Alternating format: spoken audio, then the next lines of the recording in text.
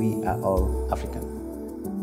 We want to understand all variation in the DNA of humans, wherever the human is situated. We need to study the mother DNA, that is the DNA of African population. Genetic diversity in the African continent is greater than anywhere else in the world. For us to really understand genetics, it is essential that we conduct genomic research in Africa. Genetic Medicine for African Population is the name of our research center.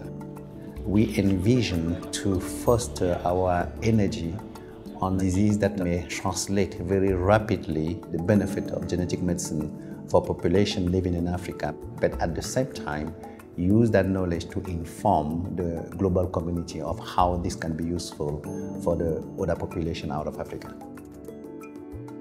We recognise that at UCT we've got fantastic research capacity and infrastructure and that's not always replicated everywhere else in the continent. But we very actively support research sites so that we can build capacity over the whole continent.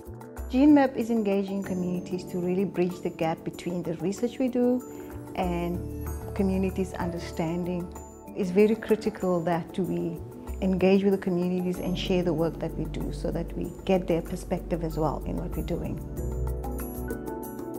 My name is Kwajovis Pakatukanda. I am a sickle cell patient and I run the sickle cell organization. GeneMap is very, very good at listening to whatever we have to say. They are very supportive and we come to them whenever we need help.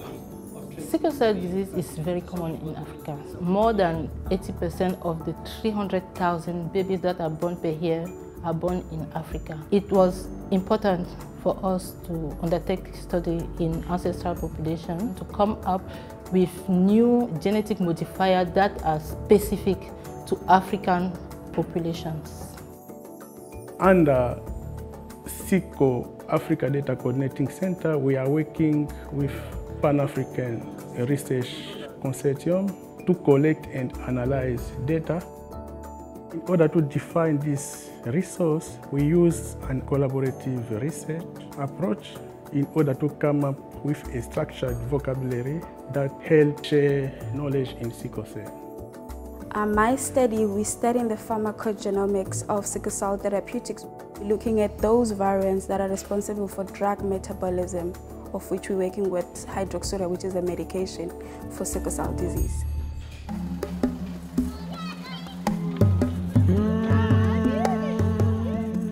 For children that are born with genetic hearing loss in Europe, we know that two genes will explain 50% of those children. Those two genes explain 0% in African population. So our research really is to investigate what are the novel genes uh, that we will need to use for diagnostic. We do our research with people living with hearing impairment. Their role is really to be out there when we do patient recruitment, to engage with them. It's also to give us understanding of what challenges that they are dealing with. Previously, we had hearing staff who've never communicated with the deaf community.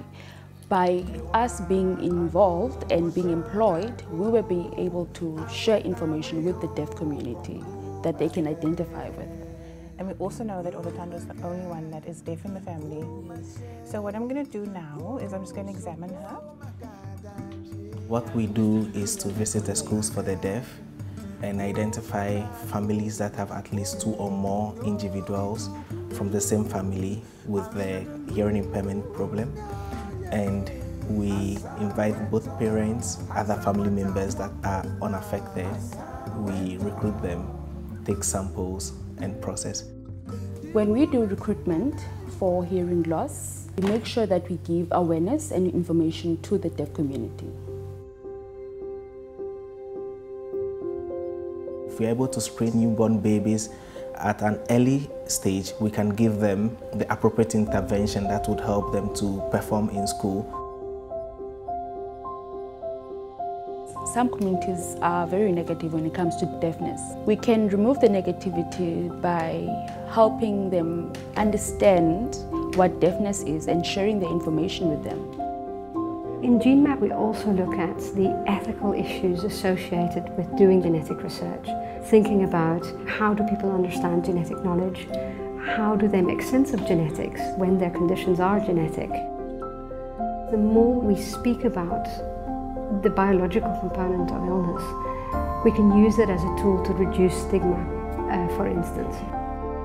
Fragile X is a neurodevelopmental condition linked to the X chromosome. It manifests with learning disabilities, um, neurodevelopmental conditions. In Cameroon, we have worked with a family um, that is really affected by Fragile X. In that community, we've worked quite a bit, um, helping them understand the nature of this condition. We get people to act out scenarios um, of a family seeking treatment, for instance, and being involved in genetic research.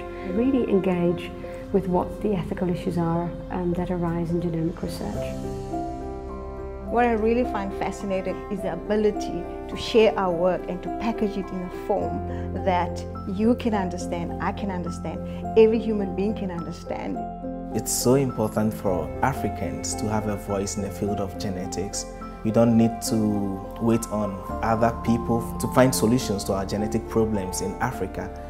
We believe that because of the projects that we are now running, the global community now knows that it will be difficult to uh, progress in genetics without the involvement of African DNA and we hope with African scientists too.